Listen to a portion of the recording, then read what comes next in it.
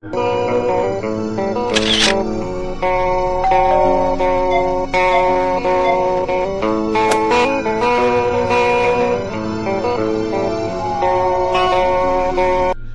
Lemah Abang itu lebih dikenal dengan nama Syekh Muhammad Abdul Jalil.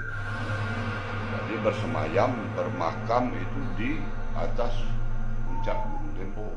Nah, nah, pada waktu itu dia raib di Demak itu. Itu kan raib. Nama dieksekusi segala macam itu kan. Jadi hilang. Nah, nah dengan hilangnya itu maka dia timbullah di pagar alam dengan nama Syekh Lemah Abang. Ya. Dengan Syekh Lemah Abang ini ma- untuk mengislamkan masyarakat pagar alam pada waktu itu yang yang memang lebih jahiliyah daripada bangsa Arab, ya. bangsa pagar alam itu. Nah, kalau bangsa Arab tidak memakan orang, ya. Ya. jadi kalau di pagar alam itu pacal dimakan ini, ya. Ah, malam kele katanya. Ah, kita nyembelih pacal tujuh. Ah, jadi dimakanlah pacal tadi. Nah inilah oh, para hulu balang hulu balang yang di pagar alam yang kat, yang katanya hebat hebat itu ngajak bertarung ngasih lemah abang tadi.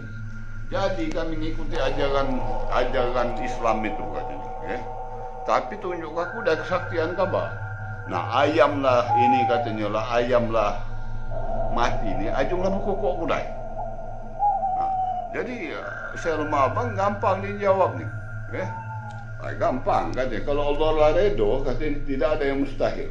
Berkokok katanya. Nah jadi berkokok ayam tadi. Eh, jadi nyatu bagi ayam jago tadi berkokok.